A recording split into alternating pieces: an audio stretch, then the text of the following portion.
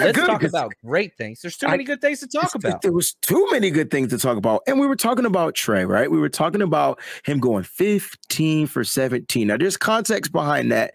And I just want to touch on the context. Like, let's call the context the check down, right? Because a lot of these throws, maybe 12 out of those 15s were check down throws. And a lot of people are like, oh, well, they're just check down. Uh, excuse me. Jimmy sucked at throwing the ball to check down. Trey Lance true. struggled at throwing the ball to check down. So how about they work on the check down throw?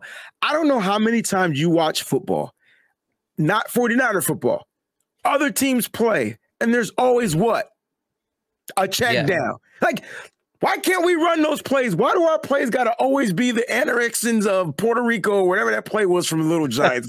Why does it always got to be some crazy drawn up schematic play? Why can't it just be all the guys are down the field? There's going to be a check down waiting for you. If you can't see them in the progressions, hit the check down. You'll get at least a first down out of it. Everybody's down the field.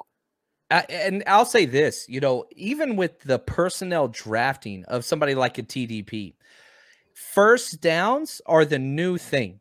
Okay. First downs are the new thing in this Kyle Shanahan offense. The you go back to those long, elongated drives where it just took so much time off the clock. Mhm. Like that's what I think this is going to be. So not so much the Raheem Mostert 70 yard touchdowns, which are incredible, but way more long sustained drive, just building that confidence. And that, I think that's where that comes in with the check down, like you're talking about. Get the first down, get the Yeah. first down, keep it going, stay on the field with your offense, wear down the defense. It just makes sense. I think that's the way we're going now. and that's the key. It's almost like like you know you know. Do you rather cut your arm off or or like get stabbed like a hundred times? Like cut, just cut my arm off. Like just let me get it over with one time through. But it's, instead of keep stabbing me, and so that's what Kyle Shanahan is looking to do. He's looking to take little small incisions and find ways to just continue to get four yards, six yards, nine yards, first down, first down, first down, and like you said, wear the defense out. And we saw that. We saw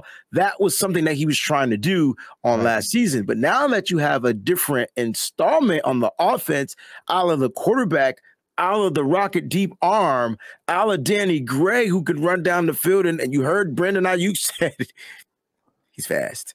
Yeah. like you, you know can fly. He's a he can fly. fly. That's what he said. And so, so you got this, and so now you got these new pieces. Like Kyle, I I'm excited to see what Kyle Shanahan's going to do. We it might not be all trick plays anymore. It might just be some good old damn. I'm gonna put your fastest guy on my guy type of football.